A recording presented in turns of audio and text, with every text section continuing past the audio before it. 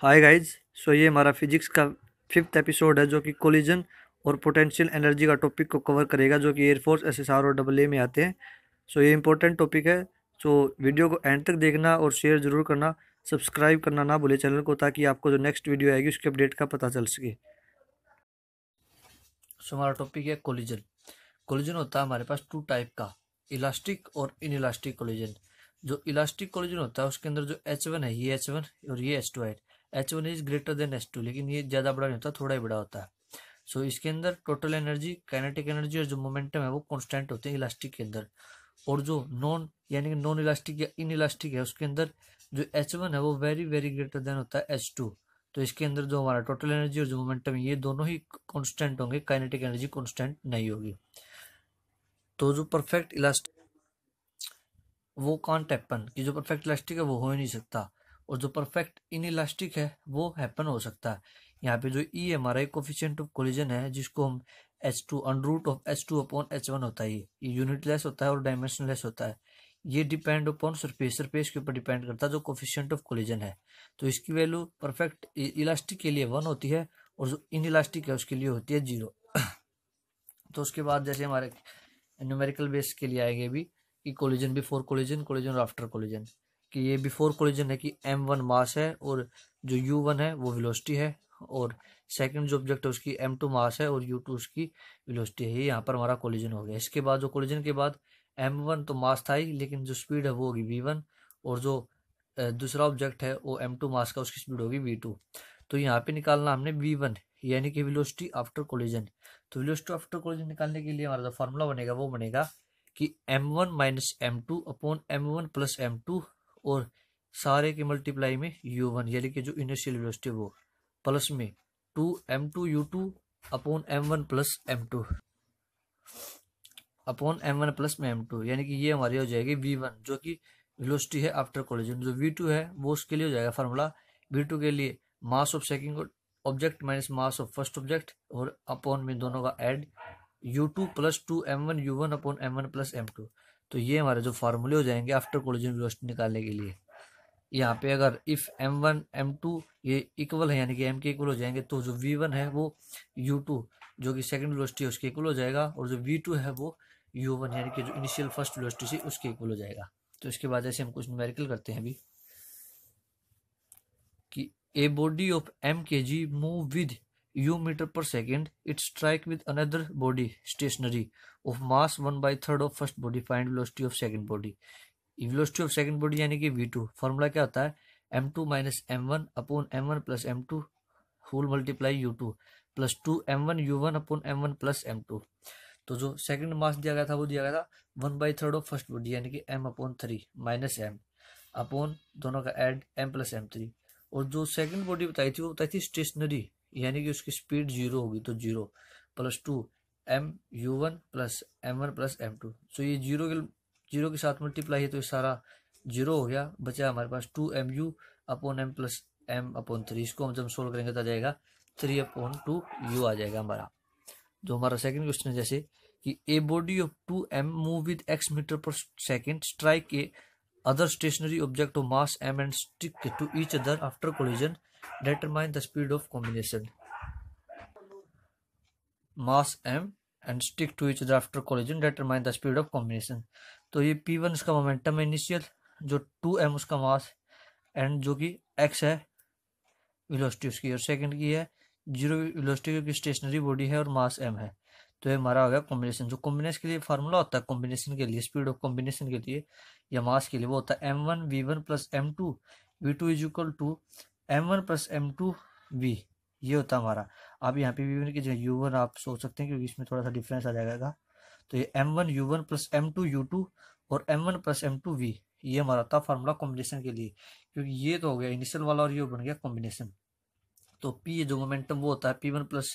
P two तो ये होगा मोमेंटम होता है एम वी हो गया टू एम एक्स और प्लस सेकेंड में मास था एम और जो स्टेशनरी बॉडी तो वी होगी ज़ीरो तो यहाँ पे हो गया two M X is equal to three M V,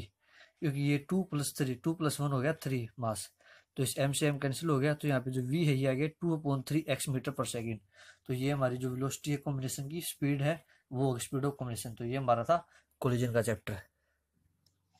तो जो हमारा सेकेंड टॉपिक है, वो है पोटेंशियल एनर्जी पोटेंशियल एनर्जी होती है तीन प्रकार की gravitational potential energy variable energy and elastic potential energy जो ग्रेविटेशनल पोटेंशियल एनर्जी होती है, वो होती है पी जो potential energy M G H variable energy है, जो उसके अंदर फोर्स होता है minus D V upon D X और जो इलास्टिक पोटेंशियल एनर्जी वो होती है हमारी स्टोरिंग एनर्जी होती है वो। तो यहाँ पे जैसे ये देखा था F is equal to minus D V upon D X तो जब हम इन दोनों का एफ़ और डी एक्स की मल्टीप्लाई करेंगे तो ये वर्क बन जाएगा। तो work is equal to minus D V तो उसके बाद एक होता है कि वर्क पॉजिटिव कब और नेगेटिव कब है। तो वर्क ऑन सिस्टम होगा तो नेगेटिव होगा कि work is done on system किसी सिस्टम के ऊपर काम हुआ तो नेगेटिव होगा। और जो वर्क डन बाय सिस्टम किसी सिस्टम ने वर्क किया है तो वहाँ पे वर्क पॉजिटिव होगा। कुछ एग्ज़ाम्पल जैसे कि इलेक्ट्रॉन को हम इलेक्ट्रॉन के नज़दीक लाते हैं तो वर्क नेगेटिव होगा और जो पोटेंशियल एनर्जी है वो पॉजिटिव होगी। और जो इलेक्ट्रॉन को हम प्रोटॉन के नज़दीक लाएँगे तो जो वर्क है वो पॉजिटिव होगा। और जो पोटेंशियल एनर्जी है वो हमारी नेगेटिव हो जाएगी। तो ये कुछ एग्ज़ाम्पल है डायरेक्ट आ जाते हैं कि इलेक्ट्रॉन को अगर प्रोटोन के नज़दीक लाया गया तो वर्क क्या होगा? या पोटेंशियल एनर्जी क्या होगी? उसके बाद जैसे हमारा है elastic potential energy elastic potential energy के एग्ज़ाम्पल हैं, जैसे स्प्रिंग या फिर वॉच या किसी जो धनुष है उसको स्ट्रेच करें बो बो स्ट्रेच या फिर आइस मेल्टिंग है, ये भी हमारा जो इलास्टिक पोटेंशियल एनर्जी है उसी के एग्ज़ाम्पल है। उसके बाद इलास्टिक पोटेंशियल एनर्जी से हम करते हैं स्प्रिंग जो कि बहुत इंपॉर्टेंट टॉपिक है इससे क्वेश्चन आता है एक बार, कि इनिशियल में जो स्प्रिंग है, ये स्प्रिंग है जिसका मास एम है, लेकिन उसको हमने स्ट्रेच कर दिया ये स्ट्रेच कर दिया उसको, और ये जो इनिशियल से एक्स डिस्टेंस पे स्ट्रेच हो गया तो इसके अंदर जो रिस्टोरिंग फोर्स होगा एफ़ वो होगा माइनस के एक्स के इक्वल ये माइनस इसलिए आया क्योंकि अपोजिट डायरेक्शन में गया है ये, और जो के ये स्प्रिंग कॉन्स्टेंट होता है हमारा, जो इसकी वैल्यू होगी F upon X force upon जो कि डिस्टेंस जितनी डिस्टेंस पे स्ट्रेच हुआ वो। तो फोर्स न्यूटन पर मीटर इसकी यूनिट होगी और जो M one L one T minus two dimensional formula होगा स्प्रिंग कॉन्स्टेंट का। इसका भी कई बार डायरेक्ट जो है क्वेश्चन आ जाता है। तो जो when current is passing through spring की जो करंट है, जो स्प्रिंग के थ्रू पास होगा तो स्प्रिंग है वो कंप्रेस करेगा। जैसे कि करंट जिसकी कोई भी स्प्रिंग है, उसके अंदर से करंट पास करते हैं हमें तो स्प्रिंग है वो फैलने के बजाय कंप्रेस हो जाएगा और सिकुड़ जाएगा।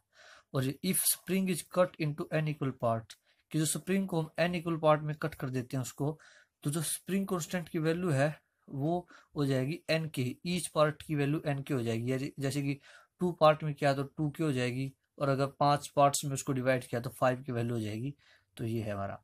जो एनर्जी स्टोर्ड होती है स्प्रिंग के अंदर वो होती है ई e, होती है half of K X two square जो कि equal to F X upon two तो ये डायरेक्ट फार्मूला इसको याद रखिएगा कि what is energy stored in spring तो one by two K X square और एफ़ एक्स अपॉन टू होती है। जैसे हम इस पे बेस्ट अभी कुछ क्वेश्चन करते हैं न्यूमेरिकल करते हैं कि a spring stored ten joule कि एक स्प्रिंग में टेन जूल एनर्जी है। If the spring stretch X meter यदि स्प्रिंग को एक्स मीटर स्ट्रेच करते हैं तो उसके अंदर टेन जूल एनर्जी है। Then how much energy required to stretch X X कि जब एक्स्ट्रा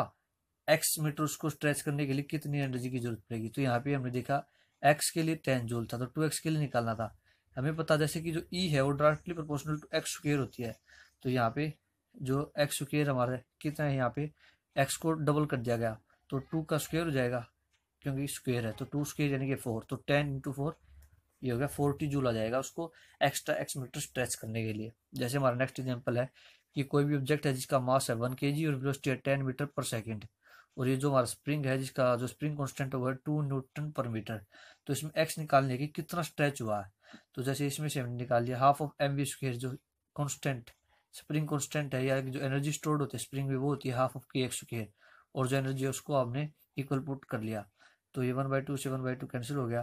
तो यहाँ पे मास दे रखा है वन वन वेलोसिटी है टेन तो टेन का स्क्वेयर इंटू जो स्प्रिंग कॉन्स्टेंट है, वो दे रखा है two two into x square तो जब इसको हम सोल्व करेंगे, ये आ गया hundred is equal to two x square और एक्स स्क्र की वैल्यू आ गई फिफ्टी इसको सोल्व करेंगे, जाएगा फाइव हंड्रेड टू मीटर तो ये हमारी हो जाएगी, इतना five hundred two metre stretch हुआ है ये स्प्रिंग तो ये हमारा पोटेंशियल एनर्जी था।